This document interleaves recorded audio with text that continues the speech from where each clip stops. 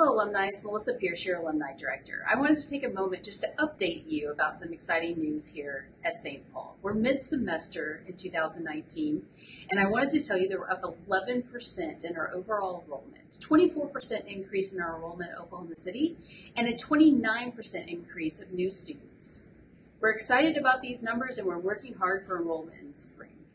I also wanted to let you know about our two new programs that we launched this fall, which is uh, the Doctor Doctorate of Ministry at St. Paul School of Theology, which is spiritual leadership in unsettled times. We also have our new 38-hour revamped Masters of Arts in Christian Ministry. We're excited to give you any details on those. Just contact Shannon Hancock if you have any questions. I also would love to hear your story. I want to know what you've been doing beyond St. Paul.